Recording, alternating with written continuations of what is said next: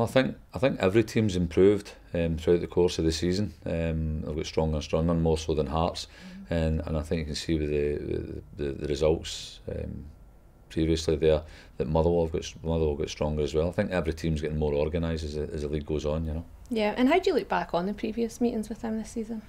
I I think the I think they've been they've been quite an organised team. They've been they've been hard to break down. Um, they've posed us a few problems. Um, but I think if we get into our stride early doors and we get our rhythm going, then and especially on the, the, the pitch out there, the nice big grass pitch, then we should be able to control the game and um, get, a, get a positive result.